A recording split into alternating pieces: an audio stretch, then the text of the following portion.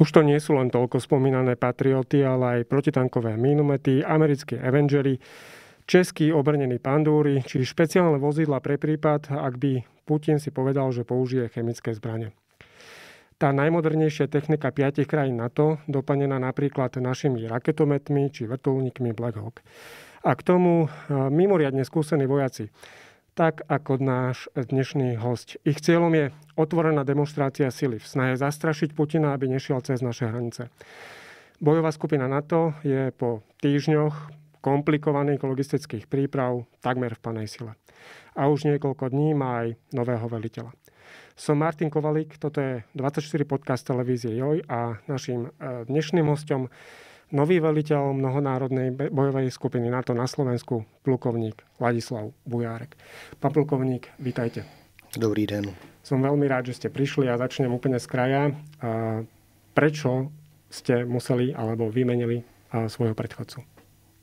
Tak jako každá operace má to několik fází a je to přirozený vývoj.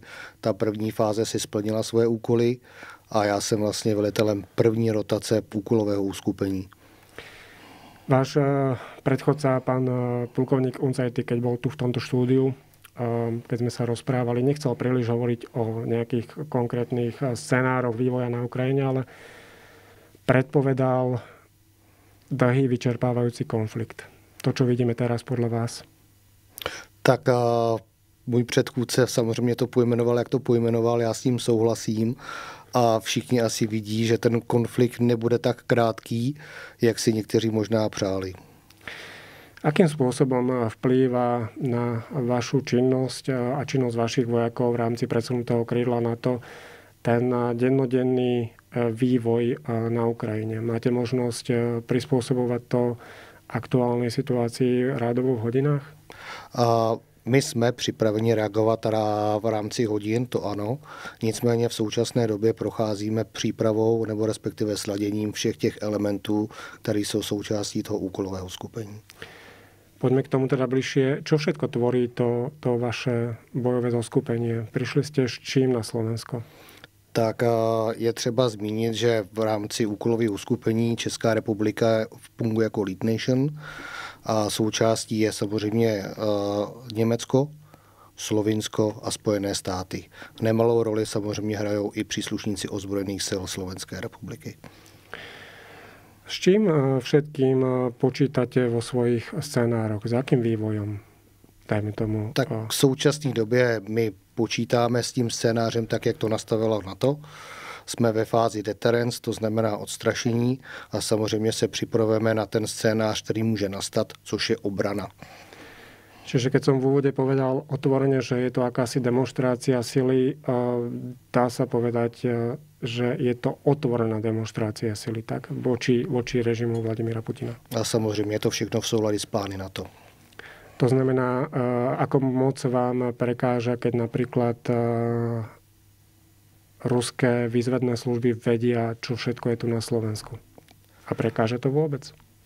Nemyslím si, že to překáží, je to spíš právě ta demonstrace, my se vás nebojíme, jsme na vás připraveni. A pri tých rôznych vývojoch a možnostiach scenára je pre Slovensko otvorene vždy aj priznávané, že my nemáme všetky tie schopnosti, aby sme vedeli chrániť našu východnú hranicu. A akým spôsobom komunikujete so slovenskou stranou, čo treba, kde treba, ako kedy s kým cvičiť?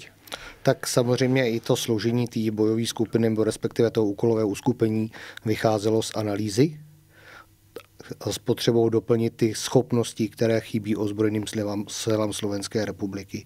A co se týče výcviku, ta lajna je jasně nastavená a deklarovaná spolupracujeme s druhou mechanizovanou brigádou.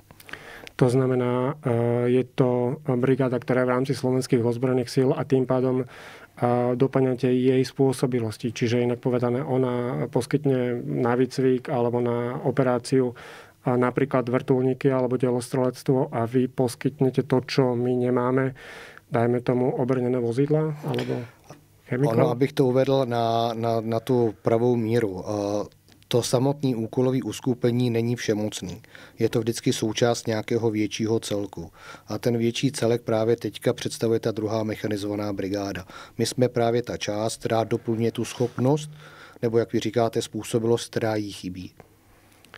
My sme hovorili uh, o tej technike, poďme k ľuďom. Uh, koľko ľudí uh, momentálne v rámci misie NATO, ktoré velíte, je na Slovensku? V současné době jsme v půlce mandátu, který máme schválený. To znamená, že keď poviem číslo 1500, nebudem ďaleko od pravdy. Nebudete daleko od pravdy. A to znamená, že keď poviem, že je to, ak sa nemýlim, zhruba dvojnásobok alebo zdvojnásobnenie toho, čo napríklad majú slovenské sily špeciálnych operácií, nebudem daleko od pravdy. Ne, opravdu nejste daleko od pravdy. A ste tu na to, aby ste tejto elite, lebo to je elita slovenských ozbrojených sil, pomáhali. Jsme tady, aby jsme pomáhali především Slovenské republice v souladu s tím naším úkolem, co máme. A je to vlastně deklarace celých, vlastně všech 30 států na to, ohledně posílení toho východního křídla a odstrašení toho protivníka. Momentálne sa veľa hovorí o východnom krídle práve v súvislosti s Kaliningradom napríklad a problémami, ktoré je momentálne pri Pobaltí. Ste pripravení napríklad aj na takéto krízové situácie, že napríklad tie aktuálne vyjadrenia smerom k tej situácii tam sú pomerne silné. Rusi a Bielorusi majú naozaj silné vyjadrenia o tom, akým spôsobom oni chcú dostať to zásobovanie svojej enklávy Kaliningrad aj cez územie, ktoré de facto stráži na to. Ste, všeobecná otázka, pripravení na takéto vyhrotenie situácie aj, dajme tomu, na, kde si na slovensko-ukrajinskej hranici? Tak to je právě ten, to je ta message toho NATO. Ano, jsme na vás připraveni, a jsme ochotní nebo jsme připraveni bránit územní celistvost. Aké sú teda tie hlavné úlohy vašej eh, bojovej skupiny na Slovensku? Tak každopádně je to integrace v téhle v té první fázi všech těch národů do jednoho homogenního celku a potom je to následná integrace a spolupráce s ozbrojenými silami Slovenské republiky. Spomínali ste, že ste zhruba na polovici toho, eh, čo sa týka personálneho zabezpečenia alebo teda eh, počtu vojakov, ktorí pôsobia na Slovensku, na polovici schváleného mandátu. A počíta sa s jeho posilňovaním až do cieľovej, povedal by som, schválenej, schváleného čísla 3100? Alebo a... momentálne jsme na úrovni, že to, čo treba, to je tu? To, co je potřebné pro současný stav a pro současné plnění úkolu, je v současné době na místě. Hovorilo sa, že práve teraz v lete by teda mohlo byť e, všetko, alebo tá plná operačná spôsobilosť, to znamená, tá momentálne už je, je zabezpečená. V současné době právě jsme v té etapě dosáhnout těch plných operačních schopností, které budou dosaženy souladu s plánem. Ďakujem pekne aj za takúto odpoveď. E, otočím trošku list. Vy ste logista. A ano, jsem logistik. Logistik je to správné vyjádření u nás.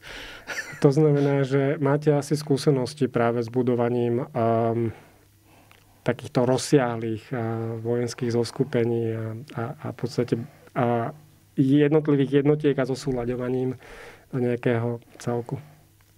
Dalo by se říct, že jsem několik věcí poskládal. Okrem iného, samozrejme, ja musím spomenúť, ak sa nemýlim, ste fanúšikom Lega. Áno, som veľkým fanúšikom. To znamená, okrem, okrem Lega. A, a toto ma inak zaujíma. A vojak skladá akým spôsobom Lego? Roztriedi si všetky farby a potom začne podľa návodu skladať, alebo ako skladáte vy? A je to takové úsměvné, ale vždycky ten plánek něčím začíná, je tam návod a pokud dodržíte ten návod, tak se vám nestane, že vám by ten model vám nebude fungovat. Je to velice dobrý, abyste věděl vlastně, jak ty kosky do sebe zapadají a potom vám to vlastně roste ten, ten daný model pod rukama. Ako logista alebo logistik po vašom, a s akými najzásadnejšími problémami a tu na Slovensku pri budovaní bojovej skupiny na to ste sa stretli? Čo je najkomplikovanejšie? Je to, je to tá súhra piatich armád, kde sú Američania, Nemci, Slovinci, Holandiania, prosto iné velenie, iné národnosti. a vy toto všetko dávate dokopy. Je to to, to najkomplikovanejšie, alebo je to niečo iné? Tak z mýho pohledu asi nejkomplikovanější věc je si sladit ty národní standardy. Potom ta druhá věc je si uvědomit, že jsme vojáci a že tady plíme nějaký operační úkol.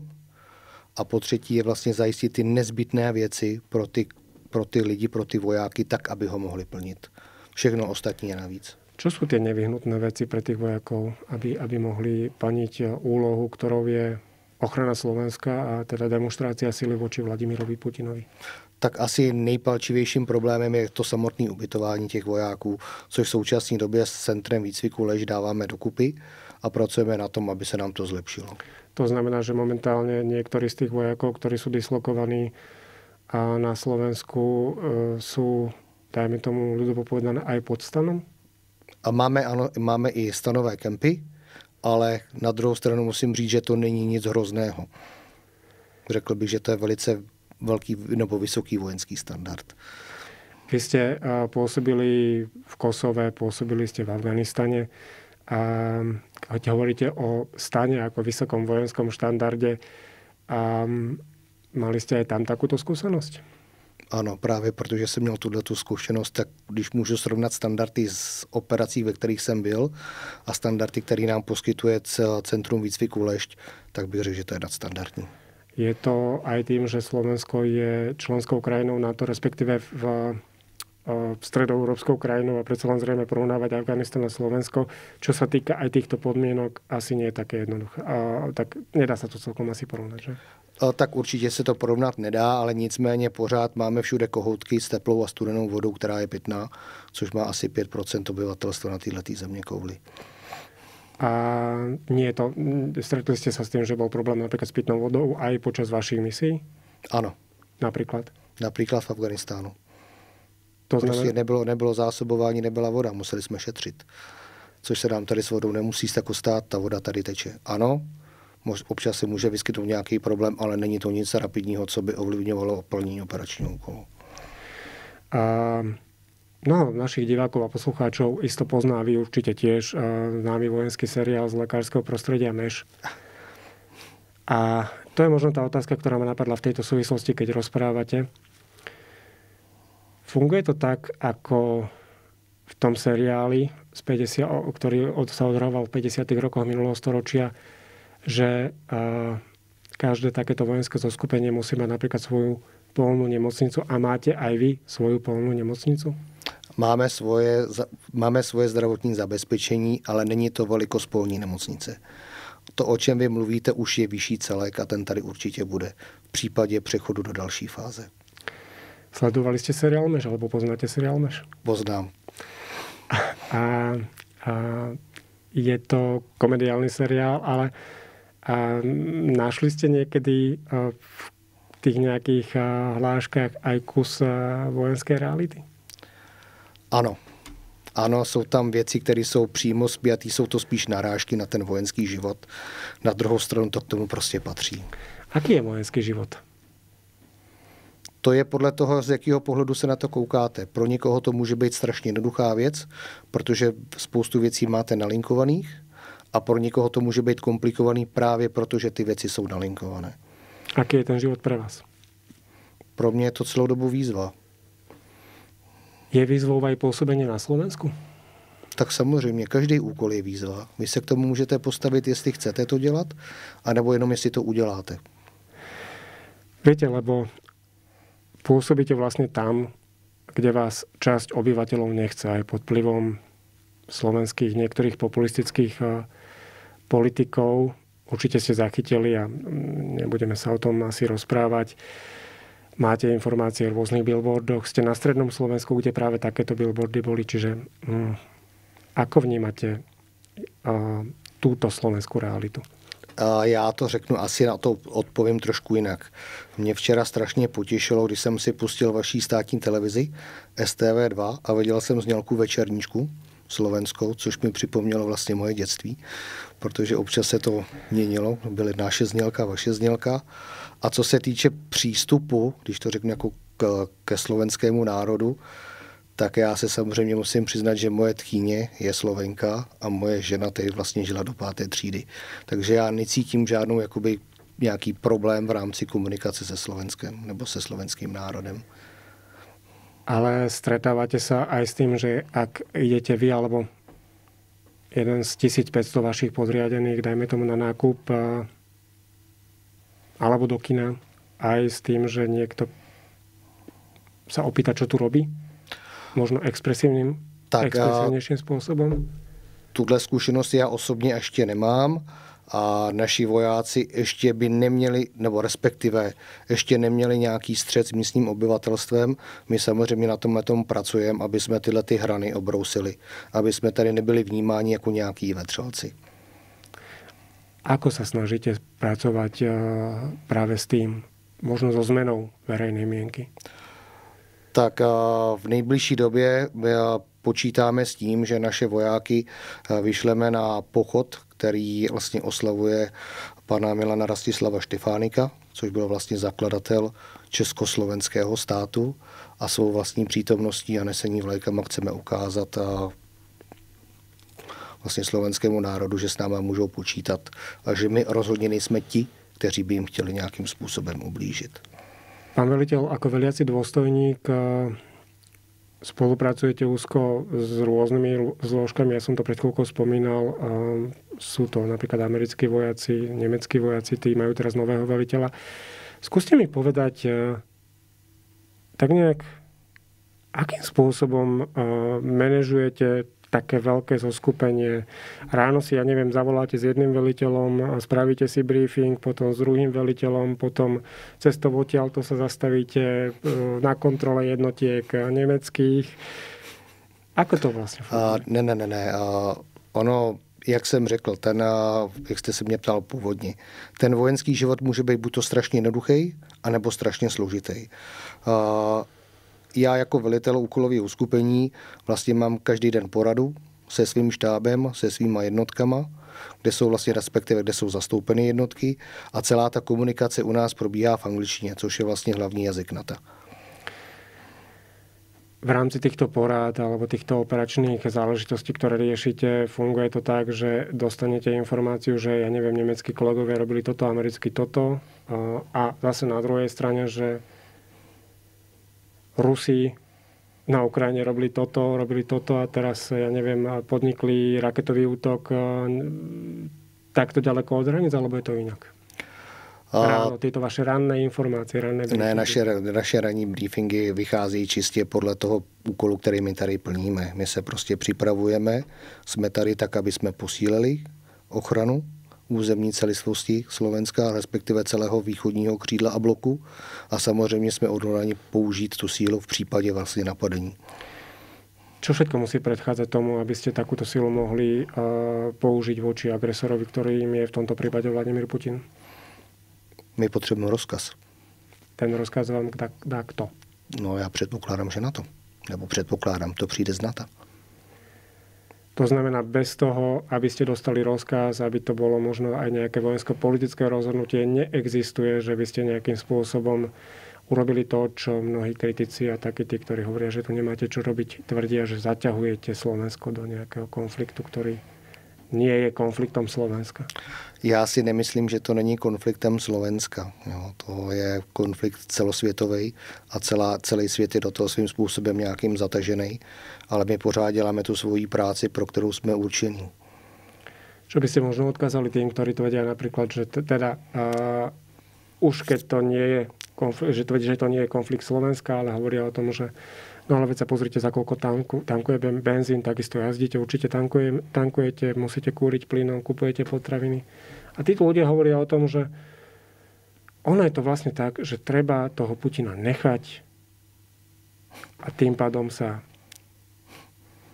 by benzín nebol taký drahý, potraviny neboli také drahé. Čo by ste mu odkázali? Já bych všem asi odkázal, a to je čistě jako moje doporučení osobní, ať si vzpomenou, co se stalo v roce 1968 našemu i vašemu národu. To znamená, že myslíte, že něco podobné by se mohlo... Ne, vy jste se mě ptal, co bych jim odkázal. Ať si přečtou, co se stalo našemu i vašemu národu, My jsme měli přátelskou návštěvu.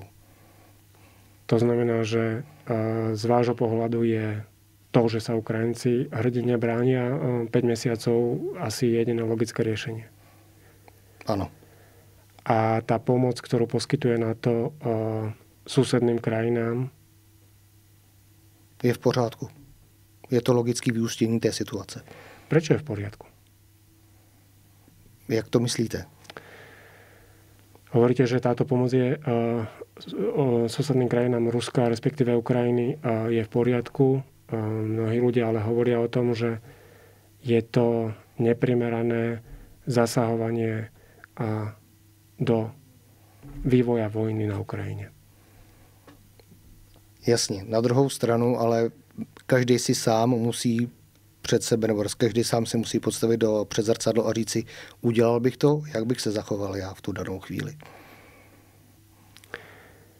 Poďme k tomu ešte vášmu českému príspevku alebo českému pôsobeniu. Keď sa hovorilo o tom, že sa majú prísť vojaci na to, a teraz som teraz prezentoval názory tých, ktorí neboli zrovna najspokojnejší, akýmsi ukludňujúcim faktorom bolo, že vy budete tou veliacou krajinou, čiže krajinou zodpovednou za pôsobenie v rámci misie. Ak sa nemýlim, je to prvýkrát, čo česká, pozícia, česká eh, armáda má takúto pozíciu v rámci misie NATO. Ano, je to obrovská výzva i pro českou armádu. Česká armáda eh, sem najskôr poslala výsadkárov, teraz eh, tu s vami prišli nejakí logisti, mechanizovaná brigáda. Podľa čoho sa v rámci Českej armády vlastne, vlastne rozhodujete, akých vojakov sem pošlete, ak sa nemýlim, mali by ste už to mať aj aktívne zálohy. Čiže vojakov, ktorí... Ano, máte pravdu, máme tady i vojáky z aktivních záloh a je to vlastně jeden z těch programů, nebo respektive vyvrcholení programu přípravy aktivních záloh v rámci armády České republiky, tak, aby jsme si odzkoušeli, zdali to, čím si ty chlapy prošli, má vůbec smysl a je ten systém nastavený správně. A tohle to je vlastně takový vyvrcholení toho celkového výcviku a toho programu. Čiže teoreticky môže sem na Slovensko zavítať aj možno najznámejší príslušník českých aktivních záloh, známý režisér, pan major Václav Marhol? A, I to je možné podľa čoho sa vyberajú tí vojaci z aktívnych záloh, ktorých, ktorých sem zavoláte alebo ktorí sem minú? Ten klíč si určují právě lidi, kteří jsou zodpovědní za ty, za ty aktivní zálohy. No zkusme být konkrétnější. A ty útvary, které jsou sem nasazený, mají nějaké svoje aktivní zálohy. A z těch se právě vybírá podle potřeb na doplnění toho, co by kde nám můžou chybět ty vojáci, který tam nemáme ste, uh, máte blízko k Slovensku, ste spomínali prostredníctvom manželky napríklad. Uh, v akom kontakt, kontakte ste uh, s rodinou a do akej miery to odlúčenie, práve tá blízkosť nejakým spôsobom neguje? Tak ten, když to řeknu ze svého osobního pohledu, ono to strašně svádí k tomu, že je to vlastně strašně blízko, ale na druhou stranu je to strašně zároveň daleko. My pořád plníme ten operační úkol a není rozdíl v tom, zdali jste na území Kosova nebo Afganistánu nebo Slovenska. My jsme prostě vojáci a ten, ten život jsme si takhle vybrali. A samozřejmě i ta naše rodina musí počítat s tímhletím odloučením. Na druhou stranu máme i spoustu benefitů po tom návratu, po těch šesti měsících, sedmi, devíti, v té rotaci a potom s tou rodinou strávíme ten čas. Je to takové vykoupení občas. Vás teda čaká, ak som správne pochopil, minimálne pol rok ešte na Slovensku, áno? Áno. Ako sa podľa vás eh, bude uh, ukrajinský konflikt vyvíjať za tohto pol roka? Na čo všetko ste vnútorne pripravení? Pýtam sa vás uh, nie ako veliteľa veľkej brigády, ale ako skúseného vojaka. Tak musíme být připraveni na všechny scénáře, které se můžou odehrát. Ona ta válka, tak jak rychle začala, může taky rychle skončit anebo může taky pěkně dlouho trvat. Čo to je dlho? Môžeme, ja neviem, myslíte si, že je reálne, aby sme si... No Afganistan trval, Sovieti odišli z Afganistanu po 8 rokoch. Ale byl to úplně jiný druh války. V čom bol iný? Ta, jak to říct, ta, ten druh války, který vedli Rusové nebo sovětský svaz tenkrát v Afganistánu, byl nátlakový a bojoval s nepravidelnou armádou. V současné době bojuje s pravidelnou armádou Ukrajinské republiky nebo Ukrajiny a samozřejmě on je tam ten, který chce něco zabrat. A samozřejmě, co se týče i vybavení a sofistikovanosti zbraňových systémů, které jsou používány. Ještě jedna otázka na vás jako nie veliteľa, ale jako skúseného vojaka. Prekvapila vás miera odporu, ktorú boli schopní po 24. februári zo seba dostať Ukrajinci? Ne, nemyslím si, že mě překvapila. A řekl bych, že to je v pořádku, protože oni už jsou ve, ve finále už jsou v nějakém konfliktu od roku 2014. A prekvapilo vás, že Putin spravil to, co spravil? Tak to je spíš otázka na geopolitiky, ale je vás, to... Vás, vás, vás osobně. Nečekal jsem, že zajde tak daleko. Osobně. Poďme ešte uh, záverom k už opäť k práci veliteľa mnohonárodnej brigády. Aké sú vaše ciele do nasledujúcich uh, dní a týždňov? Čo všetko by ste potrebovali a chceli ešte dotiahnuť, tak aby ste čo najlepšie chránili to naše východné krídlo NATO? Tak ono je strašně jednoduchý, nebo jednoduché, že já si ty cíle nemůžu stanovit. Já jsem je dostal ty úkoly a tím nejbližším cílem je vlastně sladění těch mezinárodních elementů tak, aby jsme dosáhli těch operačních schopností. A toto mi vysvětlíte. Znamená to, že od svých velitelů v eh, bruselskom, eh, bruselskej centrále NATO dostanete presnú úlohu, čo treba robiť? My dostaneme mantinely a ten mantinel pro mě teďka je ten úkol, je sladit battle groupu nebo úkolový uskupení a dosáhnout těch plných operačních schopností. Až budeme deklarovat plný operační schopnosti, budeme navazovat, přijdeme do další etapy a to je sladění toho orchestru, co máme my, s orchestrem a ozbrojených sil Slovenské republiky. A toto jako dlouho bude trvat? To je otázka dalších tří měsíců. A keby sa počas týchto troch mesiacov, mesiacov niečo, niečo, dajme tomu, zomlelo, čo nikto z nás nechce, samozrejme, aký vplyv uh, má práve tá úroveň zla, uh, zladenia na to, či viete alebo neviete, neviete reagovať na nedaj Bože uh, vývoj nejaký nepriaznivý? Já vás můžu ujistit, že to rozhodně nebude mít žádný negativní dopad. A ešte k, tým, k, tomu, k tomu ladeniu a k tým mantinelom. Predpokladám teda správne, keď si myslím, že každé to zoskupenie, či už na Slovensku, alebo Litve, Estonsku, Lotisku, má tieto mantinely vlastné, svoje, alebo sú nejaké všeobecné, že, že každé to zoskupenie? Každý to zoskupení má svůj vlastní úkol. Z čoho tieto úlohy pramenia a z čoho vyplývajú? Ty úkoly jdou z té aktuální situace a z toho, co nám vlastně nařídí náš velitel. Na záver sa ešte opýtam, máme takú obľúbenú otázku. Ste rodič, ak sa nemilím, dvoch detí však. Áno. Rozprávate sa ešte doma, a, alebo teda keď zrejme v tejto chvíli skôr uh, skypujete alebo telefonujete s deťmi o tom, čo sa deje na našej východnej hranici a v podstate veľmi blízko aj Českej republiky, alebo už sa to tak upokojilo a, a aj tie vaše deti začali vnímať situáciu, ako by si zvykli. Jak vy říkáte, to když si člověk na něco zvykne, tak to je ta právě ta cesta do pekel. To se potom stávají ty nejhorší věci, co se můžou stát. Pokud ztracíte od ostražitost, tak potom vám to všechno přijde úplně normální a potom jste překvapený. Ale zpátky k tomu, když jste, když jste se mě ptal na ty děti, uh, jelikož jedno je v určitým věku, kdy to ještě jako nevnímá, ne, nezná ty souvislosti, tak tam to jako vlastně nemá cenu nějak probírat, když to, to starší dítě to samozřejmě vnímá a ptá se na to. A myslím si, že si plně uvědomuje to nebezpečí, který nám hrozí. Ale je třeba taky, pardon, ještě podotknout, když, když narážíte vlastně jakoby na ten, na ten střed generací, ono by se to tak dalo nazvat.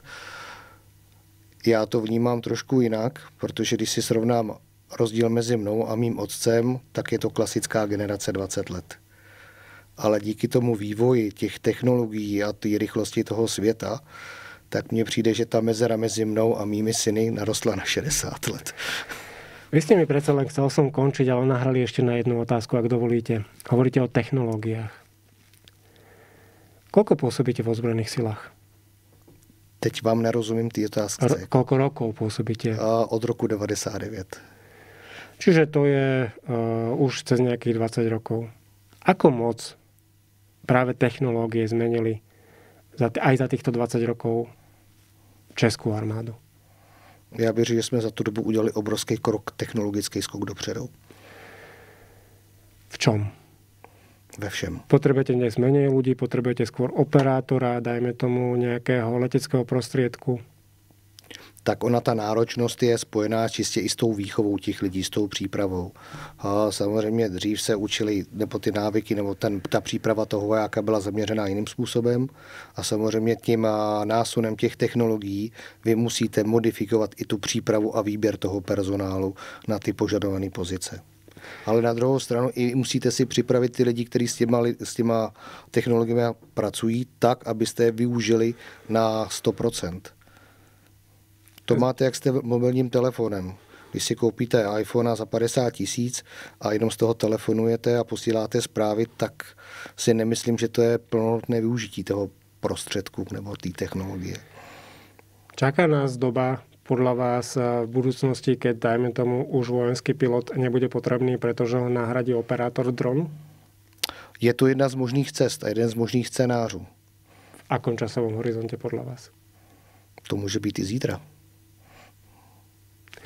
Ďakujem veľmi pekne a za to, že ste prišli k nám a do štúdia televízie Joj a 24 podcastu. Ja dúfam, že všetko dobre dopadne a, a že teda možno niekedy o pol roka na konci vášho mandátu sa opäť takto stretneme a povieme si, čo je nové. A ako sa vám podarilo tie ciele, ktoré máte pred sebou a mantinely, ktoré určuje veliteľstvo na to naplniť. Díky, díky za pozvání a mějte se pěkně. Ďakujem veľmi pekne. Naším dnešným hostom bol veliteľ bojovej skupiny na to na Slovensku, plukovník Vladislav Bujárek. Ďakujem.